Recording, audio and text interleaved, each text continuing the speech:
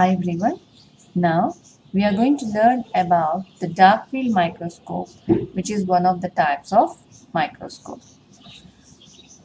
When you enter into a dark room, dust particles in the air are practically invisible. But if a beam of light crosses the room, the dust immediately becomes visible as a bright particles in the light. And this is going to happen because the dust particles are going to refract the rays of light and direct some of them towards the observer. That means we, whoever going to observe. So by this method of indirect illumination, against a dark background particles are going to be visible. And here you can see the picture of it. So how we are able to see the dust particles in a dark room. In a dark field microscope also, the specimen which is going to be observed is going to be brightly illuminated against a dark background. That means the images are going to be of appearing as a brightening or luminary bodies against a dark background. So this is how we are going to observe. And coming to the structure of the dark field microscope, the effect of image produced by this dark field microscope is quite opposite to that of our bright field microscope because in the bright field microscope we have seen the objects as a darker and the background as a brighter one. So in this dark microscope you are going to have the objects as a brighter one and the background is going to be darker in manner. So the specimens or the objects are brightly illuminated against the dark background of the microscopic field. And this kind of the mechanism is going to occur because of uh, introducing a special kind of uh, condenser which is going to be called as a dark field condenser or the Abbe condenser. So we are going to convert a bright field microscope into a dark field microscope by just keeping a special condenser called as Abbe condenser or the dark field condenser. So here you can see. So in this dark field condenser, the center of the top lens is opaque so that none of the central rays can pass through the specimen that is going to be present on the stage and the specimen is on the stage is going to be illuminated only with the peripheral oblique rays. So this is how. Only with the peripheral oblique rays. As a result of this, the field appears to be darker in color or darker in manner and the specimen is going to st stands out as a bright refractive structure. So coming to the principle of uh, this dark field microscope. So this dark field microscope is going to use a light microscope with an extra opaque disc underneath the condenser which is we are going to call it as as Abbe condenser or dark field condenser which is having the centrally blocked out area due to which the light coming from the source cannot directly enter into the object that is nothing but the specimen. Now the path of the light is directed in such a way that it can pass through the outer edge. So this is how. So only through the outer edge it is going to pass out of the condenser at a wide angle and strike the specimen at a oblique angle.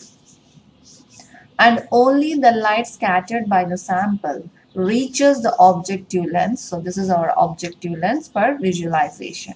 So all other light that passes through the specimen will miss the object and thus the specimen is going to be brightly illuminated on a dark background. So the one which is going to be of uh, di directly entering into the object are going to be diffractor rays and the one which is not going to be entering and they are going to be away from the object you are going to be non-diffracted rays. So this is a basic principle behind this uh, dark field microscope. Then coming to the uses of dark field microscope, we are having a, a very vast or a certain uh, more advantages when compared to our uh, bright field microscope. What are they? So for example, uh, we can study the live unstained preparation of microbes or other specimens suspended in the fluid can be done very easily by using this dark field microscope when compared to the bright field. In the bright field, we cannot observe the live stains very clearly when compared to the dark field. The second point is, so with the help of this dark field microscope, we can visualize a spirochete such as Treponema pallidum, which causes the syphilis, and Borrelia burgdorferi, which is going to be of uh, Lyme borreliosis, and Leptospira interrogans, which causes the leptospirosis, which are present in the clinical samples. And these spirochetes are not going to be seen by the light microscopy because of their thin dimensions. So we can observe them in this dark field microscope. So for the observation of the spirochetes, especially, we will use the dark field microscope.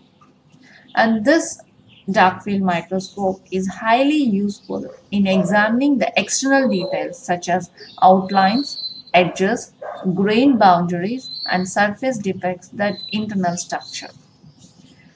When coming to the observation of microbial motility, that means we can observe the motility and tufts of bacterial flagella can often be seen in unstained cells by dark field or even the phase contrast microscope which we'll discuss in a consecutive video.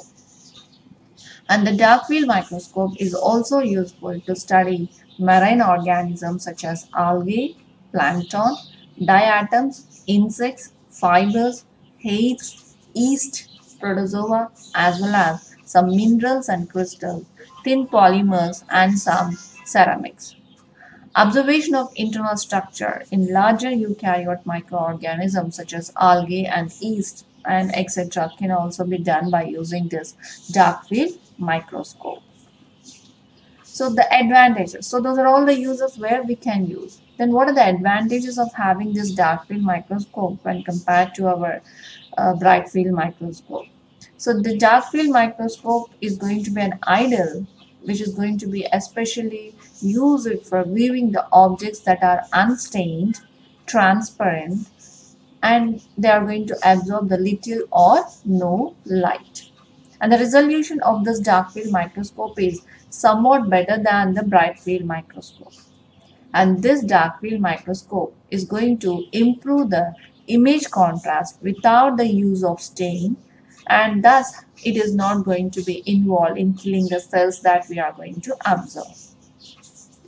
Then this dark field microscope is going to be of uh, useful in direct detection of non-culturable bacteria present in the patient sample. That means certain samples will be there where we cannot culture them in the media to study about them. So in that conditions, this dark field microscope will be very useful in observing or detecting the bacteria present in the patient sample. And next, in this dark field microscope, no sample preparation is required like how we do it in the bright field and this do not require no special setup. That means it do not require any uh, special setup. Even a light microscope can be converted to a dark field microscope. Just by keeping the Abbe condenser we can convert the light microscope into the dark field microscope. That much uh, advantage we are having. And this dark field microscope is often dismissed for more modern observation techniques such as uh, phase contrast which provides more accurate, higher contrasted images and can be used to observe a greater number of specimens. Recently, the dark field microscope has regained some of its popularity when combined with other illumination techniques such as fluorescence, which widens its possible employment in certain fields. So these are the few advantages of uh, having the dark field microscope. Then the limitations of dark field microscope. So what are the limitations that we are going to have um, of not allowing the dark field microscope to use? So the necessity to examine wet, moist specimens containing live organisms very quickly because visualization of the moving bacteria is essential to detection. The sample must be very strongly illuminated which can cause a damage to the sample. Besides the sample, Dust particles also scatter the light and appear bright. So we will get some sort of a, a distortion regarding this one. The sample material needs to be spread thinly. Dense preparation can grossly affect the contrast and accuracy of the dark field's image. If you need to use the oil or water on the condenser or the slide, it is almost impossible to avoid all air bubbles. These liquid bubbles will cause images degradation, flare and distortion and even decreases the contrast and details of the specimen. It is not a reliable tool to obtain accurate measurements of the specimen. So we cannot measure the measurement of any specimen that we want to measure by using this dark field microscope. Finally, numerous problems can arise when adapting and using a dark field microscope. The amount and intensity of light, the position, size, and the placement of the condenser and the stop need to be corrected to avoid any aberrations. So these are the few uh, limitations that we are going to observe. And here if you observe, here is the difference between the two types of the images that one formed by the bright field microscope image where the background is bright and the objects are going to be darker in manner. And in the dark field microscope, if you see here, the background is darker and the image is going to be brightly illuminated. So here just uh, for understanding I have kept both the pictures to be uh, having the bright field microscope image. This is and this is dark field microscope image. So this is all about the dark field microscope. In the uh, next consecutive video, we are going to learn about the phase contrast microscope. Thank you.